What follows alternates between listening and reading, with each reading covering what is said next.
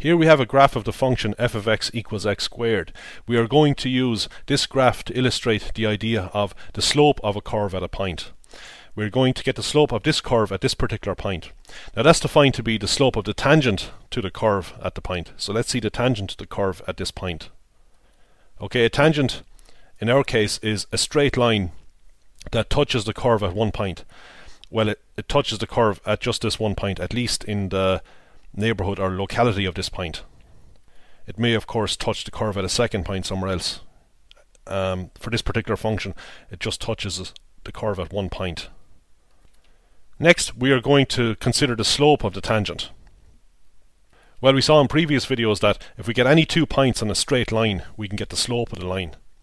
Okay, so let's work with this point here, the point of contact of the tangent to the curve, and this point up here, which isn't shown, but what is shown is this right angle construction.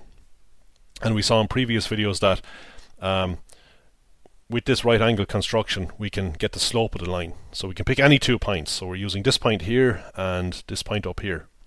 We get the vertical distance between the two points. Uh, for this particular tangent, that distance is 2.19. That distance is sometimes called a rise. Uh, the horizontal distance between the two points is 1 in this case. As a matter of fact, we will make the horizontal distance between two points on the tangents equal to 1 in all cases. The slope is given by the rise divided by the run. Um, you see if we divide 2.19 by 1, we just get 2.19. So if the run is equal to 1, then the slope is actually equal to the rise. Because if we divide any number by 1, we just get that number. The letter m, as we've seen before, is often used to denote the slope of a line. Okay, let's just move this point around. We can see that if we move this point up the curve, the slope of the curve, and hence the slope of the tangent to the curve at this point, increases.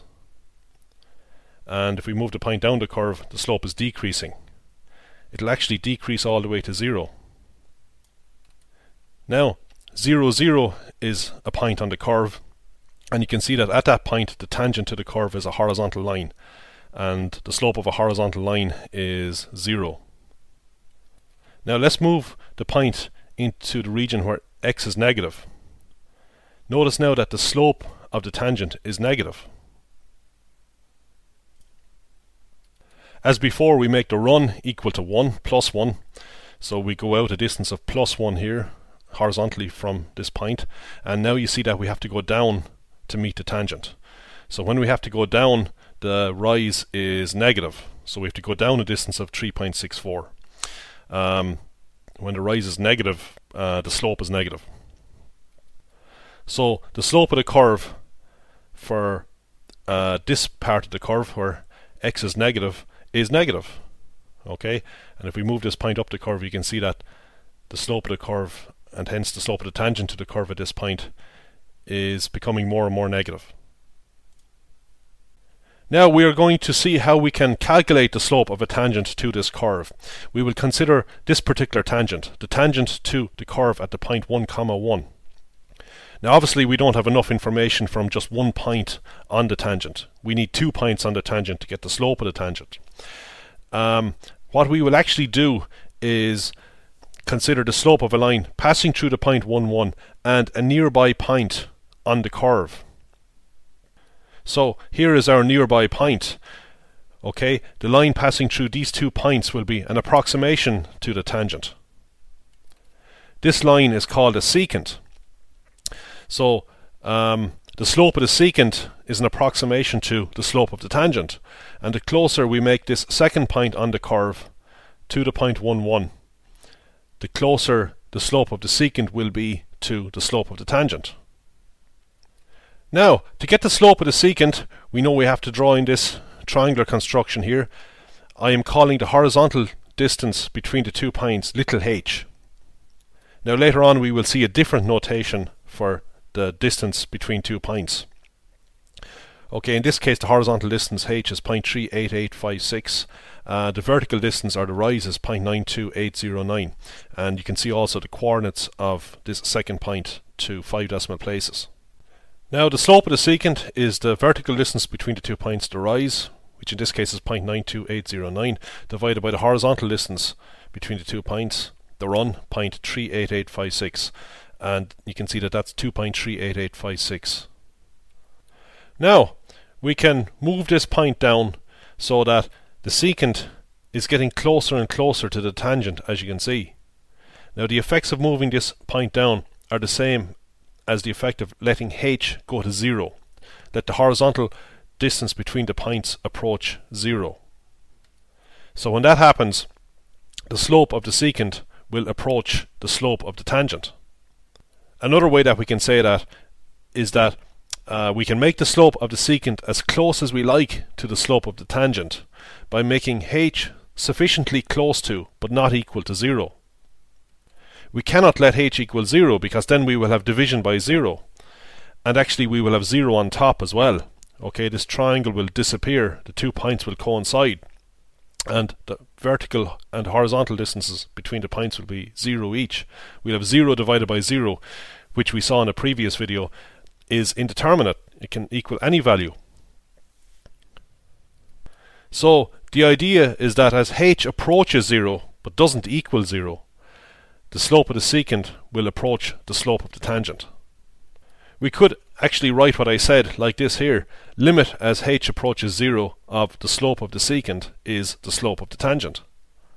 And this is the basic idea of um, how to get the slope of a curve at a point, also known as differentiation from first principles. So let's make h smaller and smaller. Let h approach 0. So now you can see h is 0.05, h is 0.04, 0.03, 0.02, 0.01 and the slope of the secant now is very close to the slope of the tangent. As a matter of fact, the slope of the secant appears to be ap approaching a value of 2. Let's see how to calculate the slope of the tangent exactly. Now we are going to consider the general case.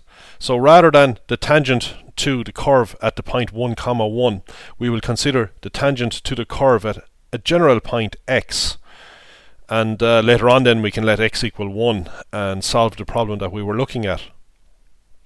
As a matter of fact we can let x equal anything we like. Okay, so a general point on our function has the form x comma f of x. In this case actually f of x is x squared. Now we are interested in a second point on the curve such that the horizontal distance between these two points is little h. Okay, so the x value of this point is x, well, um, we will let x equal 1 later on. What about the x value of this point here? Well, that's just x plus h, okay? And uh, then we need to get the value of the function at x plus h. Okay, that'll give us the height of this point above the x-axis. Okay, the y value of this point is the value of the function at x plus h. So x plus h is roughly here on the x-axis. Now h doesn't actually have to be positive, but just to keep things simple we will assume that h is positive. Okay, what about the rise or the vertical distance between these two points? Well, we have to get the distance of this point to the x-axis, which is just the y value of it, f of x plus h, and subtract the distance of this point here to the x-axis, which is the y value of this point, which is f of x. So we take f of x plus h and subtract f of x. By the way, that should remind you of the formula for the slope of a line joining two points. If this point is called x1, y1, and this point up here is called x2, y2, then the slope of the secant would be y2 minus y1, which in this case is f of x plus h minus f of x, divided by x2 minus x1, which in this case would be x plus h minus x, which would just give us h in the denominator.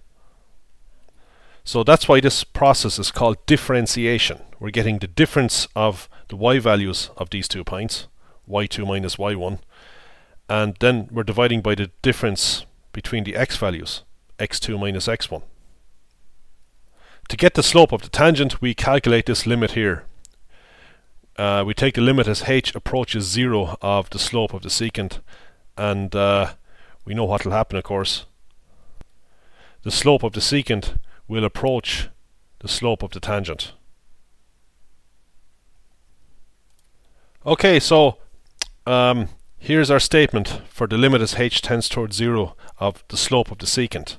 Now, here we have the notation for the slope of a tangent to a curve at a general point x. This can be read f prime of x. It's just the slope of this tangent here at a general point x. So basically we have to calculate this limit if we want to find the slope of a tangent to a curve at a general point x, this point here.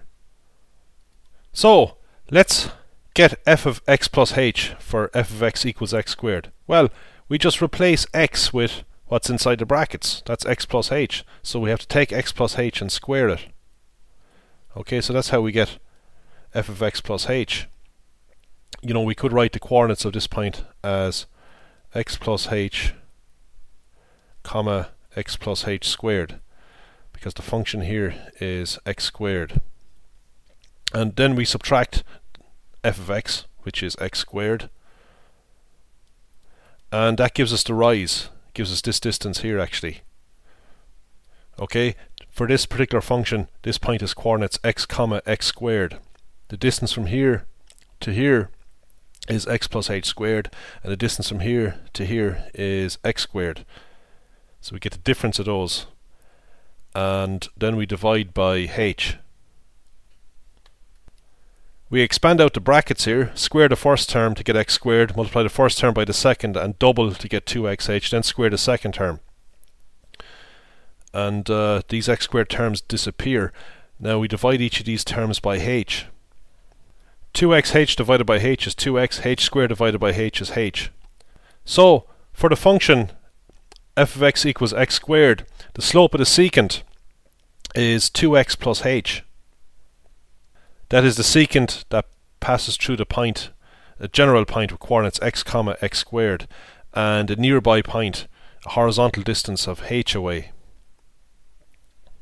Now, as we saw before, we can make the slope of the secant as close as we like to the slope of the tangent by making h sufficiently close to, but not equal to zero.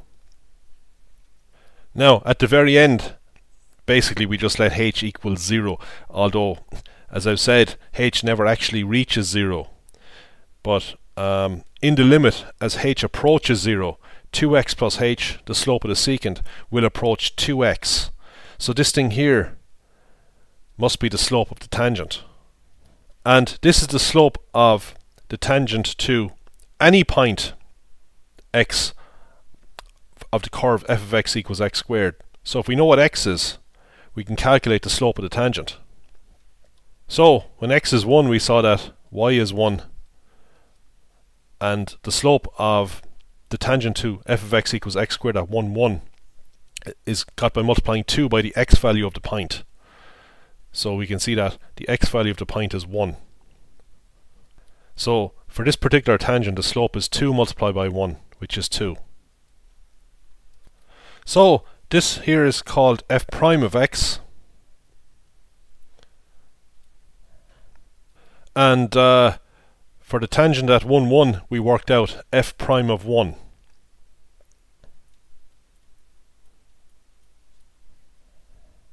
That's 2. Now you might be using an, an alternative notation for the derivative of a function. So I want to go through this. And instead of h, the horizontal distance between the two points on the secant, we use delta x. We use the Greek letter delta. The vertical distance between the two points, the rise, is called delta y. So the slope of the secant is delta y over delta x. Now, um, the, the word delta should suggest the word difference. D for delta, D for difference. So here's our formula for the slope of a line that we I discussed earlier and that we saw in, in other videos. You know, what I said earlier is if you call this point x2, y2 and this point x1, y1, then the slope of the line, the slope of the secant is y2 minus y1 over x2 minus x1. The difference in the y's divided by the difference in the x's. Now, if we take the limit as delta x tends towards 0 of the slope of the secant, delta y over delta x, we get the slope of the tangent. So instead of calling it f prime of x, like we saw earlier, we could also call it dy dx. So for our particular example, we could have referred to x squared as f of x, or we could have said y equals x squared, you know. And the derivative of this function can be written dy dx, or it can be written f prime of x. And for this particular function, the derivative is 2x. That's the slope of the curve at any point x.